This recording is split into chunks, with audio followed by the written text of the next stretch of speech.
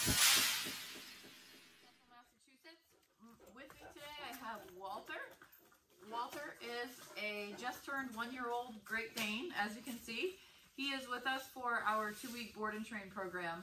Um, the primary reasons Walter comes to us is he is pretty wild and out of control. Uh, he's a teenager and he is very, very large.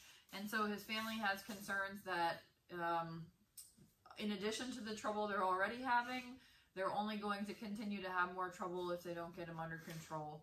Um, Walter has a wonderful temperament. He's a super sweet, happy, social, outgoing guy, but he has absolutely zero reliable obedience. He drags his owners down the street. He goes wherever he wants, does whatever he wants, counter surfs, puts things in his mouth that don't belong there. Um, you know, you name it, Walter kind of runs the gamut of unwanted puppy adolescent behaviors. So he is with us so we can change all of that and make him a much more enjoyable member of his family.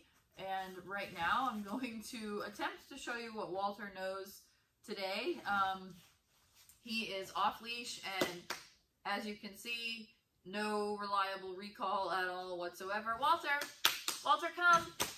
Walter, Walter, come. Walter, come. Uh, sterile room, nothing going on here, no distractions. Walter! Walter! Walter! Walter! Walter! Walter! Come! Hey! Oh, good boy! What a good boy! Come here. Oh, yeah. As you can see, Walter goes wherever he wants, whenever he wants. Walter. Yeah, boy. Good boy. That's a sit, buddy. Walter, can you down? Can you down? Hey, Walter. Um, so as you can see, Walter definitely doesn't really know anything. He might know sit, but certainly only when he feels like it. Uh, so I look forward to showing you his progress in just two weeks.